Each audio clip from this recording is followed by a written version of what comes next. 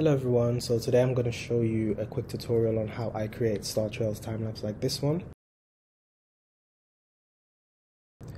Uh, so all you'll need is the free software StarStax and Adobe Premiere Pro. Um, I'll also link it in the description um, the tutorial on how I actually create star trails using StarStax and Adobe Lightroom. Uh, so what you want to do is you want to get your images, Control or Command A to select all, and then drag and drop it into StarStax. Once that's done, you have to make sure the preferences are ticked off.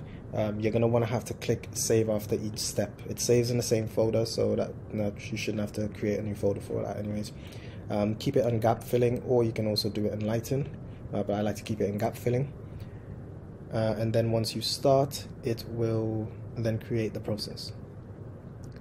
I'm going to skip this bit because it takes a little bit long.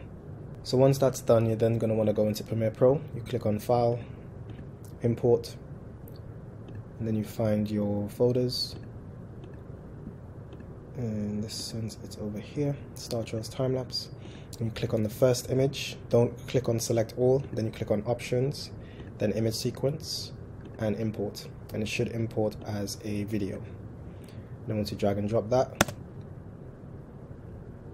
there you have it